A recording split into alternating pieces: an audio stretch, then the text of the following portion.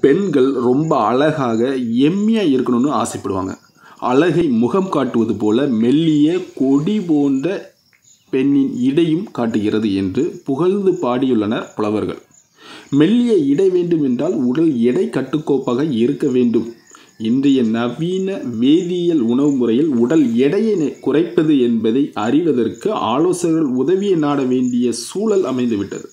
பலரும் தனது உடல் எடையை குறைப்பதற்காக உணவு முறையை தேடி அலைகின்றனர். ஆண்களும் சரி பெண்களும் சரி தனது எடையை இடையை சரியாக வைத்துக்கொள்ள வேண்டும் என்பதற்கு பசித்து ருசித்து சாப்பிட்டாலே போதும்.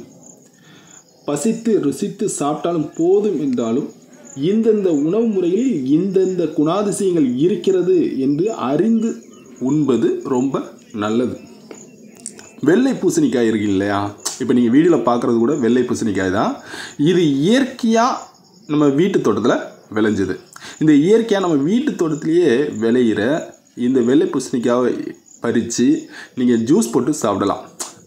வெள்ளை பூசணி நம்ம வந்து தர்பூசணி சாப்பிடுவோம். அதை விட இதில் வந்து டேஸ்ட் இனிப்பு கம்மியாக தான் இருக்கும்.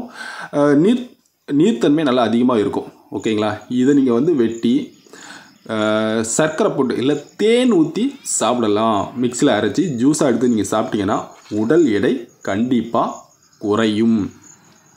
ஓகேங்களா? இது வந்து ப- பலரும் இதை நம்பி செய்கிறாங்க நீங்களும் இயற்கையான முறையில் வெள்ளை பூசணி விளைவிச்சு சாப்பிட்டீங்கன்னா கண்டிப்பாக எடை குறையும். தேவதை போன்ற ஒரு அழகை பெற வேண்டும் என்று சொன்னால் கண்டிப்பாக இயற்கையான உணவுப் பொருட்களை விரும்பி சாப்பிடணும் என்னப்பா பூசணிக்காய் போட்டோ அப்படிங்கிறீங்களா